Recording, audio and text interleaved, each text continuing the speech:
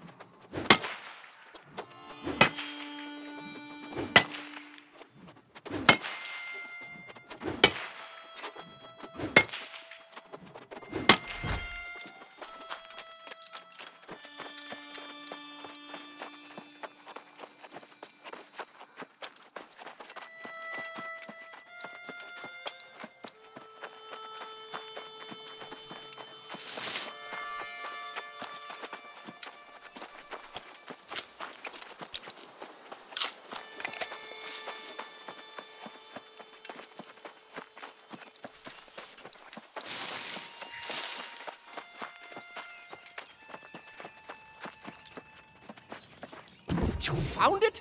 Incredible! A storm, however small, projected by the collective consciousness of the Earth itself. Terra cogitatum. And you realize what this means about the storm wall encircling the island, yeah? Exactly. The crimson particles aren't an indication of the corruption's strength. They're proof of its failure. The angry Earth is preventing the corruption from escaping Aeternum. Do you realize the complete implications of this? That storm wall has been there for millennia. The angry Earth must sense that the corruption represents a danger abroad as well. Oh, that again. Just when we've made this discovery, this might even explain the blight. I suppose you did make this possible, however. Fine. How do you propose we unite the factions? That seems entirely reasonable. An armistice would certainly aid in the cause of science. All right. I'll need to speak with some other alchemists, but I give you my. Yes, yes, it could be a good thing. Do send a message when you know the time and place. Now, what to do with this bear urine? Has to be useful for something. Eh? A bomb, maybe.